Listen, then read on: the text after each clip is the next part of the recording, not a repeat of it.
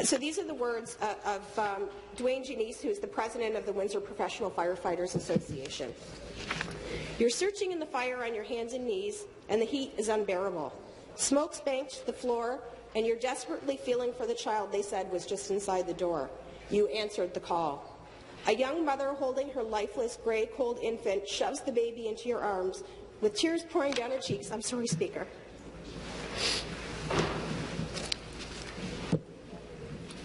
She, begs you to please save her baby girl. You know it's too late, but you do all that you can. You answered the call. You roll into the neighborhood where the lawns are manicured and the cars shiny and new. You grab your gear and rush to the front door.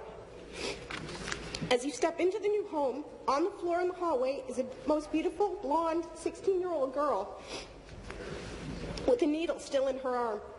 Her parents are crying, trying to comfort each other and saying to you, we were only gone for an hour. You answered the call. You arrive at a modest single-story home. The flames are shooting from every opening in the house. You stretch ho hose lines and ladder the structure. Despite your best efforts, the fire is the victor. You're exhausted and wet and covered in soot, and while packing the rig, the homeowner sits on the curb, face in his hands, sobbing out loud, saying, That's all that I had, and now it's gone. You answered the call. You're standing at roll call at the beginning of shift. Your comrade is missing and not responding to calls and texts. The captain and crew head over to his place and it's, as it's just around the corner. While checking the home and peering in the windows, you witness what no one ever wants to see. Your brother is laying on his bed in a pool of blood with the gun in his hand. You empty his locker and question, how can this be? You answered the call. You're 21 years old and fresh on the job. You've heard some of the stories, but experienced none of them yet. You pry open the door to the apartment, and the captain walks in. As you search the apartment, the captain calls out, He's over here. You enter the bedroom, and the captain tells you to cut him down. As you cut the electrical cord from his neck, the middle-aged man slumps to the ground. You answered the call. You head into the grocery store for grub for the crew. On the way in, an angry citizen calls you lazy and selfish and berates you. You nod and walk away. Into the store you go. In the vegetable aisle, the clerk rushes over and in a panicked voice says, a woman needs help three aisles over. You rush to her side and begin CPR. You work on her hard, pushing on her chest, hoping to revive her. Forty minutes later, she's pronounced by the EMS. The ride back to the station is quiet as can be as you think about her three kids coming home from school and finding they have a mother no longer. You answered the call.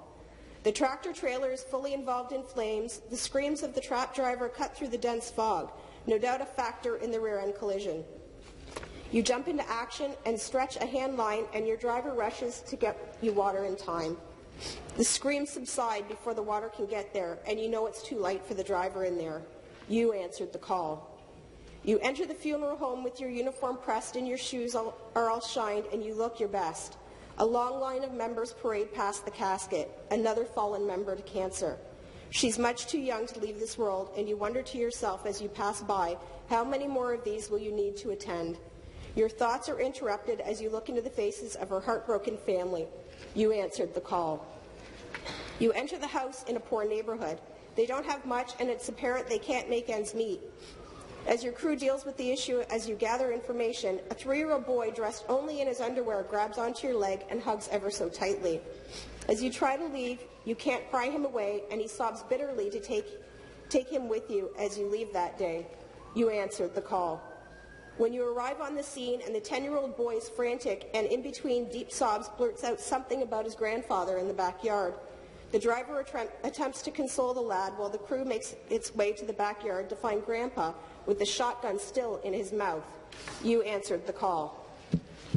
You knock on the door of the old gray-haired lady, and she yells to come in.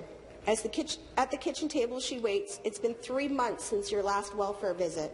You ask her all the standard questions about her safety, but she insists on talking about the family she once had. You sit and listen to the stories once again, and you think how sad and lonely it must be. You answered the call. You are out with a group out with the group, they're as broken as you and drinking heavily, pretending nothing is wrong. Your family is waiting at home for you, and when you show up, you are angry and mean to those who love you the most. You answered the call. It's 3 a.m., you're watching TV, nothing in particular, just trying to fill the void where sleep should be. On comes a commercial you don't know about, and you begin to cry and think, what's wrong with me? You turn the set off and lay in the dark and close your eyes, hoping to fall asleep. Your mind won't shut off. It's like a big screen flashing hundreds of slides of all that you have seen. You answered the call. For decades, these things have been haunting me and my friends. With nowhere to turn for many, it was the end. We finally had the courage to ask for help, and we reached out to you to protect the protectors. We were happy and relieved when we heard the news that someone cared and would help us out. Today, on behalf of myself, my members, and all first responders in this province, I would like to extend a heartfelt thank you to the members of this legislature who have supported us. You've answered the call. Thank you, Speaker.